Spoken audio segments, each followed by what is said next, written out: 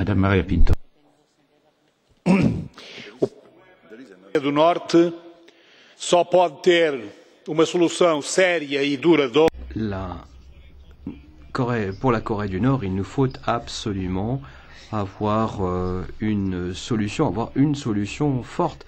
Et tout ça ne peut être que le produit de négociations internationales. Il ne s'agit pas simplement que l'Union européenne ou que euh, les États-Unis participent à tout cela. Il faut mobiliser l'ensemble des pays pour négocier avec les Coréens du Nord. Tous ceux, en tout cas, qui ont euh, un impact sur ce pays, en particulier la Russie et la Chine.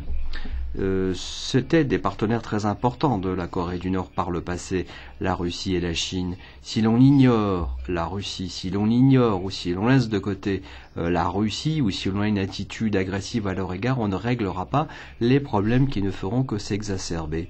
Le problème de, l'armement nucléaire euh, en Irlande du Nord, en Corée du Nord, ne pourra pas être réglé de manière rhétorique. Il faut agir.